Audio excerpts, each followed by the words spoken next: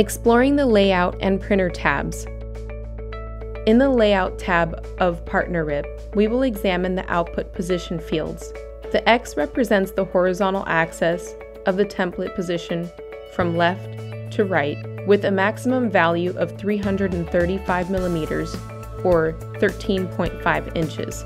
The maximum curable imprint width is 12 inches. The value inserted here will position your artwork starting from the left side and the default minimum value is 40 millimeters or 1.5 inches. The Y represents the vertical axis of the template position from top to bottom with a maximum value of 603 millimeters or approximately 23.75 inches. The maximum curable imprint length is 23.75 inches.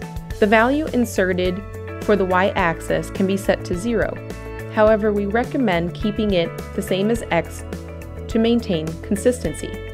Now let's look at the repeat function in this tab. X determines the number of images on the x-axis from left to right. For example, enter 1 will have a single image and 2 will show 2 across. Y determines the number of images on the y-axis up and down. The distribute option should be set top to top for best results, meaning that the distribution will use the top of the artwork as the starting point to measure the gap. The other option is spacing. This changes the distance between your images based on the size of your artwork. Top to top is preferred because it will allow the LogoJet trays to be aligned with the standard distance between each artwork position, regardless of the size of the image. X and Y spacing is used to determine how much distance is placed between your artwork. When using a LogoJet tray to print on, you can get the spacing from your existing Illustrator template. Once the first artwork is aligned properly, the rest will automatically fall into place. Now let's look at the Printer tab. The printer should always be set to Stylus Photo R2400. For the port, Choose whichever port the LogoJet printer appears on. Spooler, set this to start printing immediately. Check paper size should be set to on. For the resolution, set both the white and color to the proper resolution.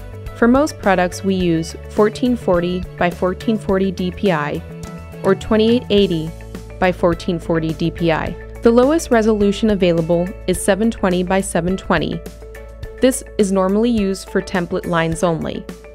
The highest resolution available is 5760 by 1440 dpi. Higher resolution will result in longer print times. For image type, this setting will give different results depending on the artwork.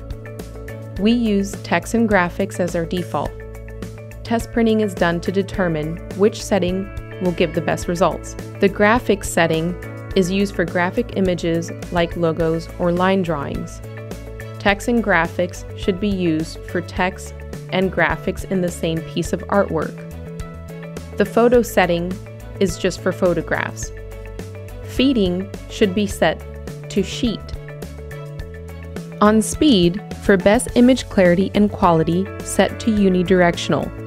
Bidirectional can result in double printing. Color ink dot size, small or middle, should match the color profile being used. White ink dot size, same dot size, or large dot size can be used depending on the texture of the product and preference. Testing will determine which setting is best to use.